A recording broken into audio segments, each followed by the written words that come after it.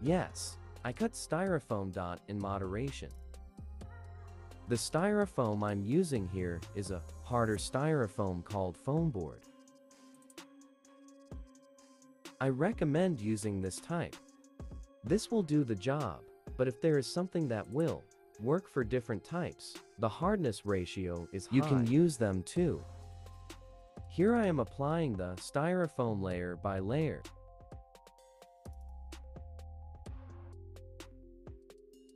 Of course, as I said, if you have a thicker styrofoam, you can apply it in one go. I open the joints with the burning process. You can do this with something sharp or a pencil. I give stone texture by burning. These operations can be done with different techniques. You don't have to burn it.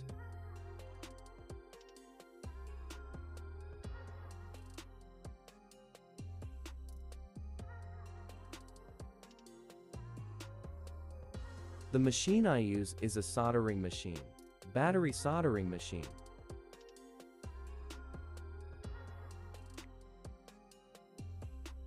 Here I used wood, glue to stick it white. But instant glue can also be used. This was the technique I used when I first started, but now, I use instant glue. I used grout, Plaster or stone dust can be used instead. I recommend stone dust. Of course. It will be harder and more durable. I model skulls with polymer clay. I will petrify them with an air machine hot air machine.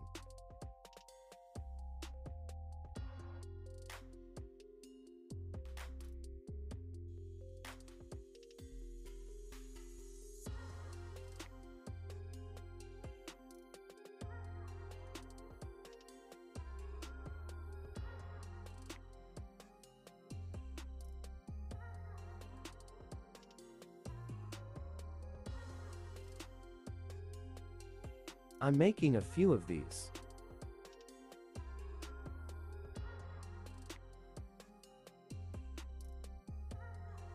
I also make wireframes of our dungeon with them. Here I cut to size.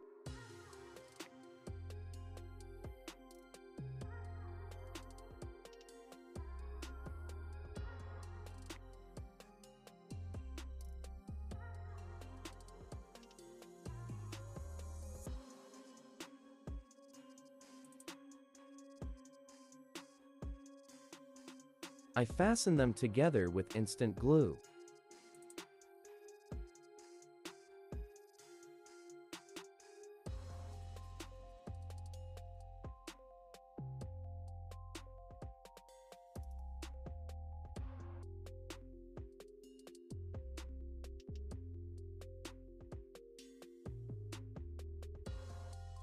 I make my chains with polymer clay.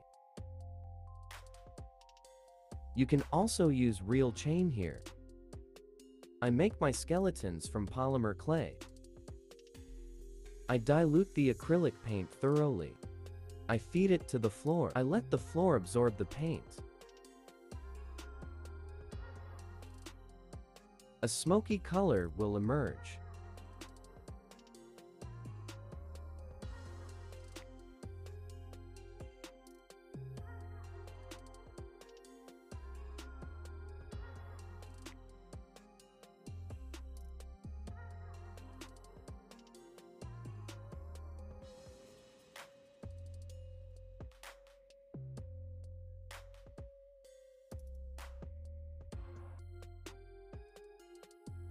I wear it with aging paint and white.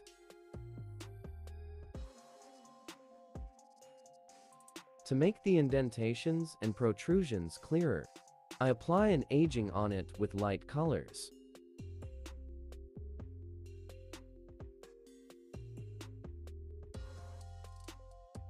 I make this stone more real.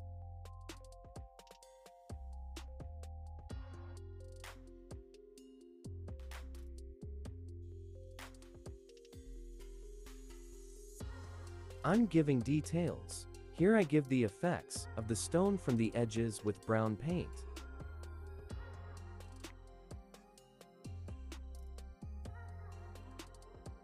I'm applying primer paint.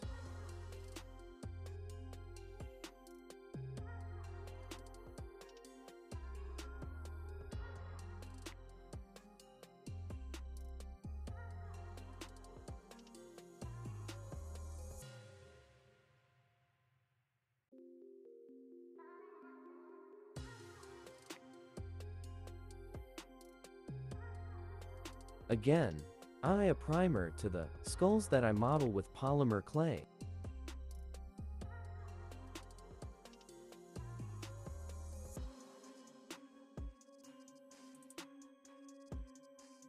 I paint my metal wires all black then.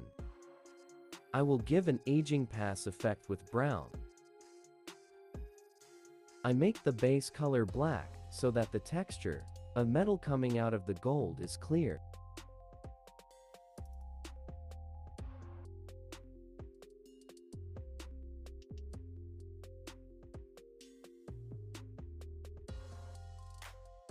Cadence has a set that gives data an aging rust effect. I used it. We throw metal powder on it. Then by oxidizing, we really pass it.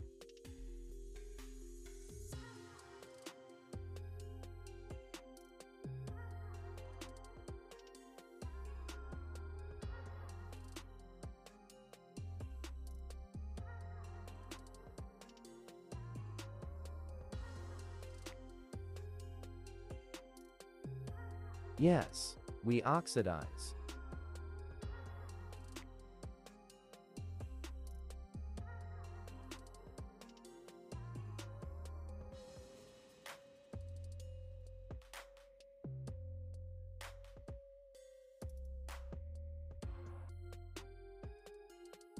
Here again, a, a soil sand texture.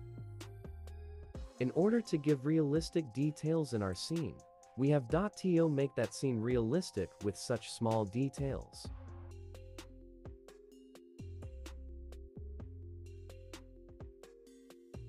Here, we make the sand, the soil, the dust look more realistic in such places.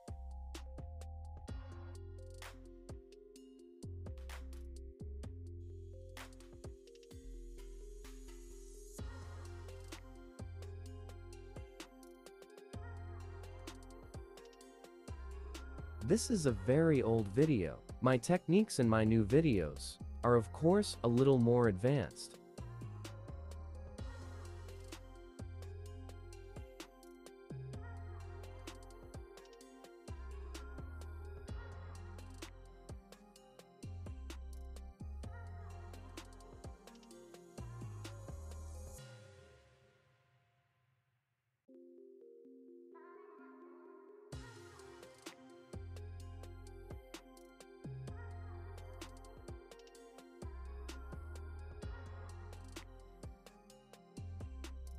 Now, we will determine the locations of our skeletons in our venue, that is, on our stage. In the meantime, we need to create a scene integrity.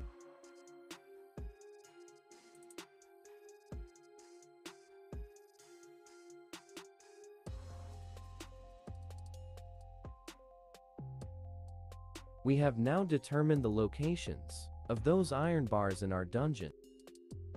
We place them and show here that people have been tortured and persecuted.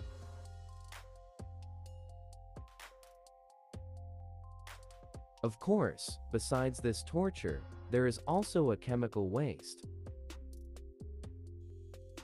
We built a chemical waste site here to show that chemical waste is dumped here.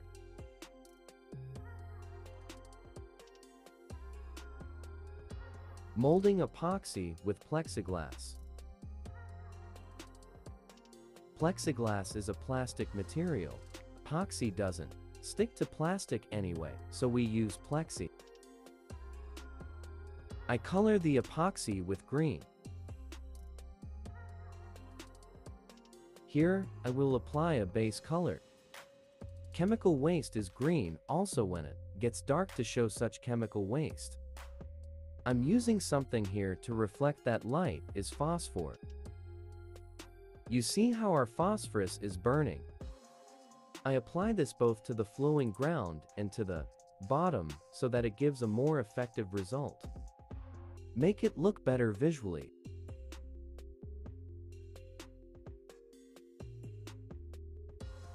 Of course, be careful when applying. This because, in the normal thing, it becomes an opaque material, so it does not show the bottom at all. So pour it, it does to not the bottom, become transparent. transparent. So if you pour it on the top layer, you will spoil the epoxy. After pouring on the base, apply epoxy on top. Epoxy should not lose its transparency. I apply it to the base. I keep it for a day and freeze it. Then I apply epoxy.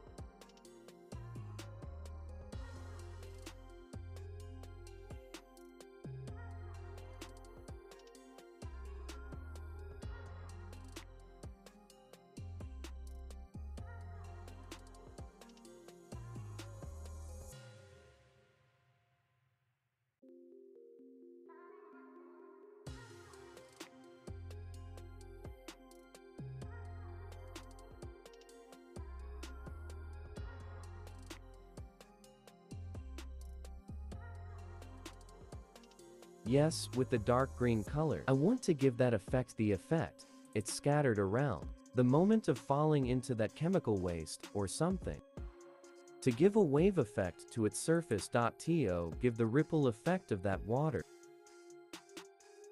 I use gloss gel. It is very different that I am using now. I was using that brand then, but I I'm was not currently using using Mod. Podge gloss, and I am very satisfied. If you are going to do something like this, I recommend Mod Podge gloss.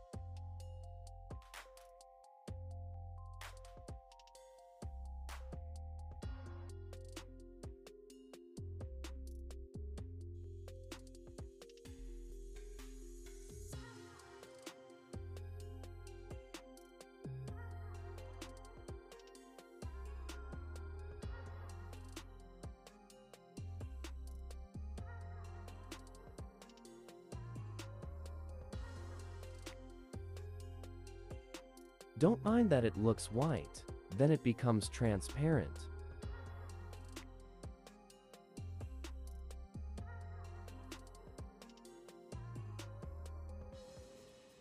Yes, you see how the phosphorus burns.